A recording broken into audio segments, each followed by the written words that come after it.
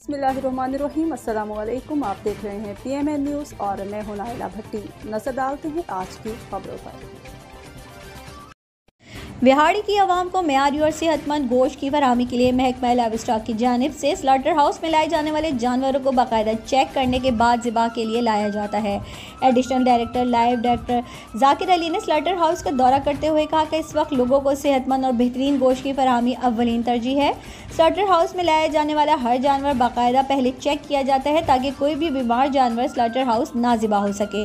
उन्होंने कहा, इस वक्त ज़िले भर में किसी भी जगह लंपी स्किन वायरस नहीं है। इसलिए शहरी पुनतमाद होकर गोश्त खाएँ और दूध पिएँ। उन्होंने कहा कि कमज़ोर और लागर जानवरों का गोश्त किसी सूरत आवाम तक नहीं पहुँचने देंगे।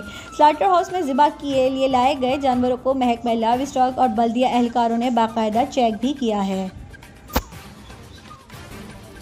अब तक के लिए इतना ही। मजीद खबरों से बाखबर रहने के लिए देखते रहिए पी एम एन न्यूज़